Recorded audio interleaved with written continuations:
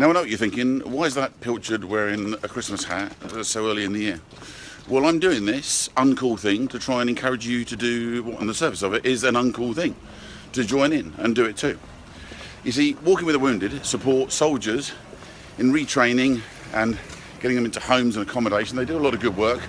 And one of the things that they do to raise money is walk home for Christmas, where you get your mates from work or your friends to all gather together and walk home, or walk to the pub, or walk from the pub, or whatever. You basically you sign up with Walking with the Wounded. Uh, the information is down below. Get yourself one of these hats by return. Uh, several of your mates pay your fee, and then you all work home for Christmas, and you post it, reminding people that people who've gone and served their country deserve a little bit better than they're getting at the moment, and there are people like Walking with the Wounded who are out there to help them. So, join in, look as uncool as me. Closer to Christmas, I'm obviously doing this in November just to tell you about it, but uh, I think I'll take this off now before I draw any more weird looks. But join in, it's a good laugh, honestly, and it's an important cause.